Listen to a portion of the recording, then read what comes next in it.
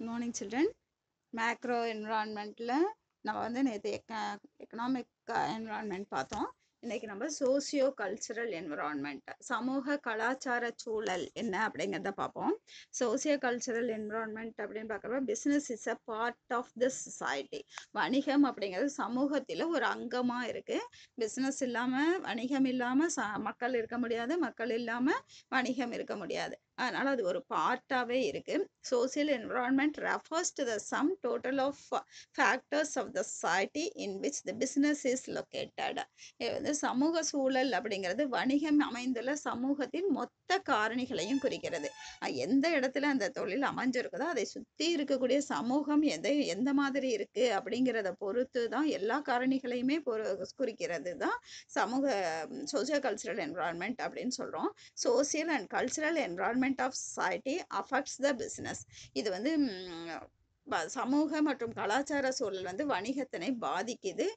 Then social and cultural environment of society affects the business it is a dynamic and includes the behaviour of individuals and the role of importance of family customs traditions beliefs and values religions and languages அந்த ethical values இதில் வந்து ஒரு இது தனிநபர்களின் நடத்தை குடும்பத்தின் பங்கு மற்றும் முக்கியத்துவம் பழக்க வழக்கங்கள் சமூக மதிப்புகள் மதம் மற்றும் மொழிகள் நெறிமுறை மதிப்புகள் கல்வி அறிவு நிலை மற்றும் மக்களின் சமூக மனப்பான்மை சமூக கலாச்சார சுற்றுச்சூழல் போன்றவற்றை உள்ளடக்கி இருக்குது.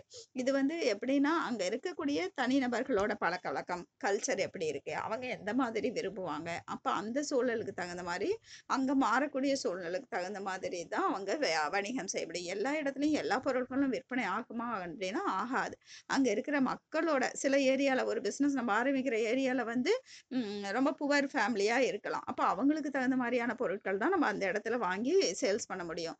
அதே சில இடங்களில் பார்த்தோம்னா நல்ல லக்ஸூரியஸ் ஃபேமிலி இருக்கிற மாதிரி இருக்கும். அப்போ அந்த மாதிரி ரொம்ப ஆடம்பரமாக அவங்க செலவு பண்ணுவாங்க அப்படிங்கிறப்ப விலை அதிகமுள்ள பொருட்களை வந்து அங்கே விற்பனை செய்ய முடியும். அது மாதிரி அங்கே இருக்கக்கூடிய ச- அந்த நம்ம எங்கே வணிகம் செய்கிறோமோ அதை சுற்றி இருக்கக்கூடிய மக்களின் தனிப்பட்ட நபர்கள் குடும்பம் அந்த இதை பொறுத்தும் வந்து தொழில் பாதிக்கும் அப்படின்னு சொல்கிறாங்க பாருங்க இந்த சோசியல் இன்ஸ்டிடியூஷன்ஸ் அண்ட் குரூப்ஸ் இது வந்து சமூக நிறுவனங்கள் மற்றும் குழுக்கள் அதை பொறுத்து. Then family structure prevalent in the society சமுதாயத்தில் பரவலான குடும்ப கட்டமைப்பு எப்படி இருக்கு அப்படின்னு. Then role of marriage as an institution வணிகத்தில் திருமணத்தின் பங்கு. Then caste system in the society சமூகத்தின் ஜாதி அமைப்பு முறை. கஸ்டம்ஸ் பிலீஃப்ஸ் அண்ட் வேல்யூஸ் அதே மாதிரி ச மக்களின் பழக்க வழக்கங்கள் நம்பிக்கைகள் மற்றும் சமூக மரியாதைகள். டெமோகிராஃபிஸ் factors which includes the size composition literary level then um, literacy level அப்படின்னா உங்களோட கல்வி அறிவு. Distribution and mobility of the population. மக்கள் தொகையின் அளவு அமைப்பு கல்வியின் நிலை விநியோகம் மற்றும் மக்கள் தொகை அடர்த்தி ஆகியவற்றை கொண்ட மக்கள் தொகை காரணிகள். சரியா அங்கே எவ்வளோ மக்கள் இருக்காங்க. அந்த ஏரியாவில் கொஞ்சம் பேர் மட்டும் இருப்பாங்களா இருக்கும். ஒரு பத்து பதினஞ்சு வீடு மட்டும் இருக்கக்கூடிய ஏரியா இருக்கும். ஒரு பெரிய சிட்டியாக இருந்துச்சு அங்கே நிறைய மக்கள் தொகை வந்து அதிகமாக இருக்கும். மக்கள் நடமாட்டம் அதிகமாக இருக்கும். அப்போ அங்கே அதிகமாக விற்பனை ஆகும். Then the life style of people and their taste likes and preferences மக்களின் வாழ்க்கை மரும் முறை மற்றும் அவர்களின் சுவை விருப்பங்கள் மற்றும் முன்னுரிமைகள் போன்றவை.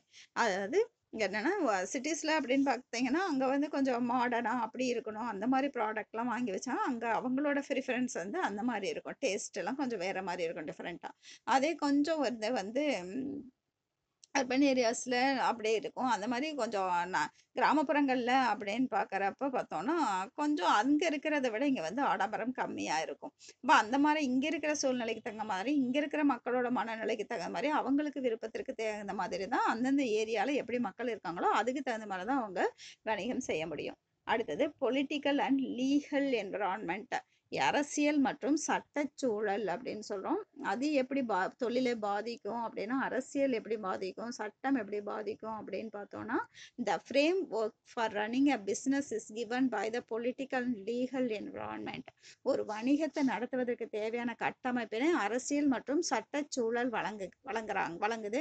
The success of business lies in its ability to adapt and sustain to political and legal changes ஒரு வணிகத்தோட வெற்றி அப்படிங்கிறது வந்து அரசியல் மற்றும் சட்ட மாற்றங்களுக்கு ஏற்ப மாற்றி தக்க வைத்துக் கொள்வதற்கான அதன் திறனில் உள்ளதே. எவ்வளோ அரசியல் க மாற்றங்கள் வந்துட்டே இருக்கும். வந்துட்டே தான் இருக்கும் அது. அதுக்கு தகுந்த மாதிரி அவங்க வந்து அவங்களோட தொழிலை வந்து அதுக்கு தகுந்த மாதிரி தக்க வச்சுக்கணும். அதுக்கு தகுந்த மாதிரி மாறிக்கணும். அதே மாதிரி லீகல் சட்டங்களும் அப்பப்போ மாறிட்டே இருக்கணும். அப்போ அதுக்கு தகுந்த மாதிரியும் அவங்க அவங்களோட தொழில் அமைப்பை மாற்றி அமைச்சுக்கணும். அப்போ தான் அவங்களால சஸ்டைன் பண்ண முடியும். சஸ்டைன் அப்படின்னா அவங்களால அந்த மாற்றி த வச்சுக்கிட்டாதான் அவங்களோட தொழில் வந்து வெற்றி அடையும் then the legislative executive and judiciary are the three political institutions which directs and influences a business. அதே மாதிரி சட்டம் நிர்வாகம் மற்றும் நீதித்துறை மூன்று காரணிகளும் வந்து வணிகத்தின் மீது ஆதிக்கம் செலுத்துவதோட வணிகத்தை பாதிக்கவும் செய்யும். ஓகேயா இந்த major elements of legal and political environment are சட்டம் மற்றும் அரசியல் சுற்றுச்சூழலின் முக்கிய கூறுகள் என்ன அப்படின்னு பார்த்தோன்னா ஃபஸ்ட்டு பாருங்கள்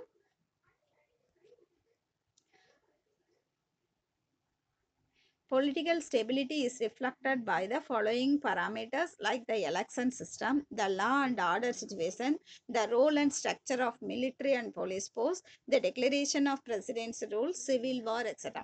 அரசியல் ஸ்திரத்தன்மை அப்படிங்கிறது வந்து தேர்தல் அமைப்பு சட்டம் மற்றும் ஒழுங்குநிலை இராணுவம் மற்றும் காவல்படை ஜனாதிபதி ஆட்சியை அமல்படுத்துதல் உள்நாட்டு யுத்தம் மற்றும் பல அளவுகோல்களை கொண்டிருக்கிறது ஒரு அரசியல் அப்படின்னு பார்க்குறப்ப இந்த அளவுகோல எலெக்ஷன் வரலாம் கட்சி மாறலாம் ஆட்சி மாறலாம். அந்த மாதிரி பல சில இது வந்து இங்கே சட்டம் ஒழுங்கு மா சரியா இருக்கணும்.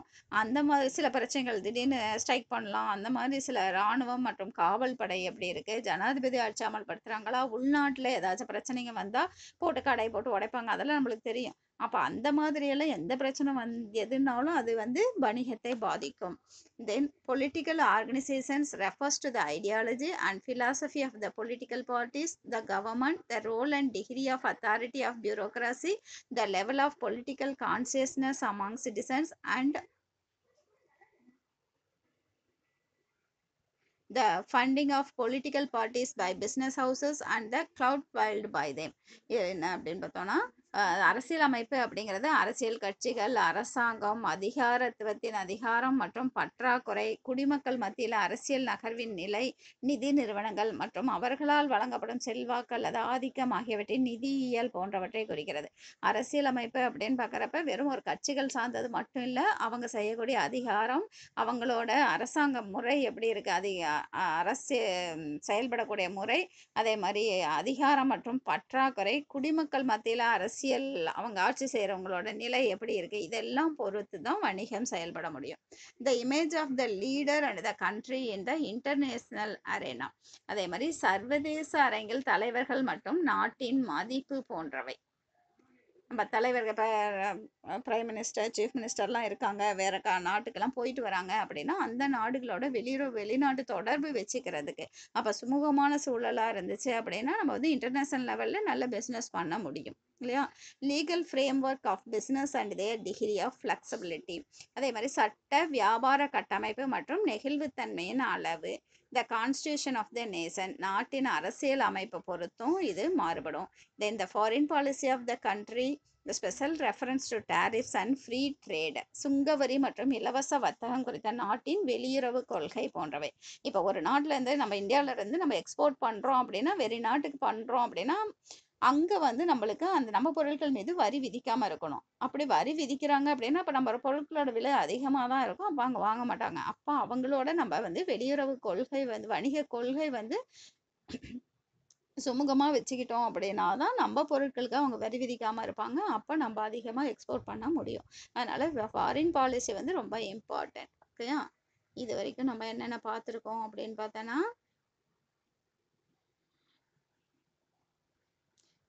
இதில் எக்கனாமிக் பார்த்தோம் சோசியோ கல்ச்சர் பார்த்துருக்கோம் பொலிட்டிக்கல் அண்ட் லீகல் பார்த்துருக்கோம். நாளைக்கு நம்ம ஜியோ ஃபிசிக்கலும் டெக்னாலஜி அண்ட் குளோபல் என்னென்ன அப்படின்னு பார்க்கலாம். இதை ரெண்டுமே கொஞ்சம் கொஞ்சமாகவே படிங்க புரிஞ்சு படிங்க. பாருங்கள் மேக்ரோவில் வந்து நம்ம பொருளாதார சூழல் பார்த்துருக்கோம் சமூகம் மற்றும் பண்பாட்டு சூழல் அரசியல் மற்றும் சட்ட சூழல் பார்த்துருக்கோம். நாளைக்கு நம்ம புவியியல் சூழல் தொழில்நுட்ப சூழல் உலகளாவிய சூழல் என்ன அப்படிங்கிறத பார்ப்போம். Okay children thank you